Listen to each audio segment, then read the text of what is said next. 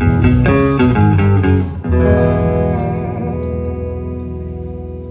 I gotta crank the reverb up. Hold on. Sorry, Chase.